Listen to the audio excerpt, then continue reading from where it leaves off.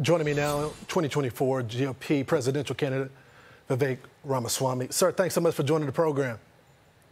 Good to be here. How you doing? Good, good. So we, we have these young voters. I'm a millennial myself. That was Gen Z. Um, you you yes. gained some support amongst that group.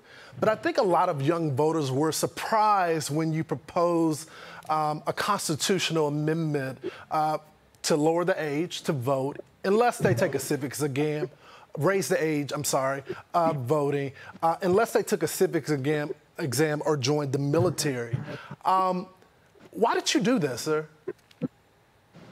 So, my view, Lawrence, is that every citizen in this country, including those who age into citizenship, should have to at least know the same things about the country that an immigrant has to pass in order to become a citizen of this nation. Young people don't value a country that they passively inherit. They value a country that we have a stake in building. I'm the youngest person ever to run for U.S. president as a Republican reaching young voters is critical. But what I see across the country, Lawrence, is that young people are hungry for a cause. They're hungry for purpose and meaning and identity. And we live in a time in our national history when faith, patriotism, hard work, family, these things have disappeared. So, yes, I think we do need to revive a sense of a civic duty to satisfy that moral hunger for purpose and meaning. And so my experience in talking to young people in college campuses and otherwise across the country is yes, there is a little bit of shock at first to say that, wait a minute, I have civic duties. I have to actually pass the same civics test that an immigrant had to pass but not, but to become I, a citizen. I, am sorry to interrupt you, Vivek, but they're not yeah. immigrants, though. They, they were born Americans. We give those to people that want to become Americans. I mean, even if you look at even conservative... My whole point, Lawrence. But even if yeah. you look at conservative groups, like the leading organization uh, to, to get constitutional amendments is the Convention of States. They want to limit government. I think it's rare that you see a. Republican that wants some type of overreach of government to take rights away. So, actually, Lawrence, and maybe this is a good area to be very clear about what my policy is. I want less governmental involvement. You want to know what exactly the government requires today? Today, young men are required to register for selective service. That's the draft on pain of criminal penalties. That means you can go to jail if you do not register as a young man, as you mm-hmm. and I, I'm sure, mm-hmm. did mm-hmm. between the ages of 18 and 25. So, what I'm saying is decriminalize that, get rid of that. I don't think that's the American way. The American way is to say you're free to do whatever you want, but if you want to have the full civic privileges, then yes, you have to know the same thing about the country that an immigrant has to in order to earn the right to vote. And the fact of the matter is, young people, especially age 18 to 25, voting rates are rock bottom.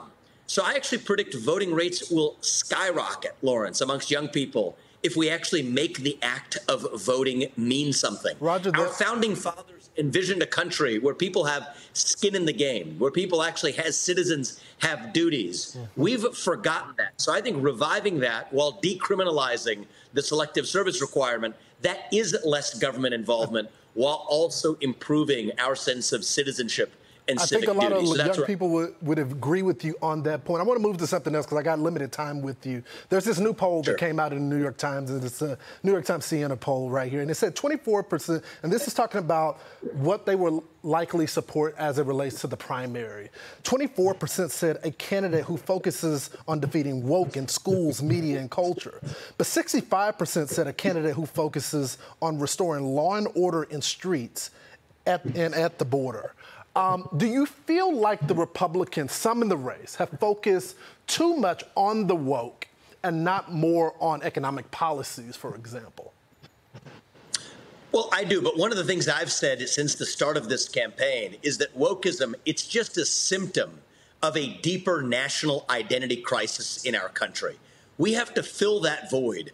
For too long as conservatives, I think we have been running from something. Now is our moment to start running to something. What does it mean to be an American? If we can answer that question, Lawrence, revive our self confidence, yes, that is how we grow our economy. Unapologetically embracing free market capitalism, the best known system to man to lift people up from mm-hmm. poverty, unlock American energy, put people back to work by no longer paying them to stay at home. Yes, this is how we grow an economy. But we can only adopt these policies if we actually revive our sense of who we are as Americans. Mm-hmm. And so to me, some people say the woke issues are, some people say the economic issues are over here. Actually, I think both of these go hand in glove with reviving our missing national identity as Americans. And frankly, I think that's why we've been so successful. I've gone from 0.0% mm hmm in March in the polls to now actually polling at the unambiguous third in the national polls across the Republican primary, even before the first debate. Many of those supporters are young people. Yeah. And I think they're responsive to that message of national identity. Vivek, uh, the former president just took the stage a few minutes ago and he was talking about Bidenomics. Uh, let's play the sound from the president. One of the most important issues of the campaign will be who can rescue our country from the burning wreckage of Bidenomics. You know what that stands for, right? Henceforth, it'll be defined as inflation, taxation, submission, and failure. Under my leadership, we built the greatest economy in the history of the world. We actually built the greatest economy in the history of the world. Yeah, a, a lot of people are in pain, Vivek. Final words. So, look, I think that Biden has been a disaster because his philosophy of economic growth is creating more government jobs. Mm-hmm. What I think we need is getting not only government out of the way, but standing for pro growth policies. And Lawrence, here's the little secret. You want to talk about that national crisis of pride in our country? Young people aren't proud to be American anymore. Well, it turns out young people, all people, we're more proud of our country when we're making more money in that country. Mm-hmm. So that's why I'm an unapologetic proponent of economic growth.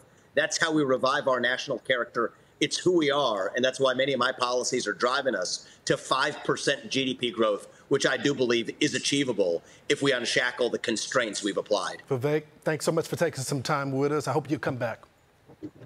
Thank you, Lawrence. Good to see you. You got it.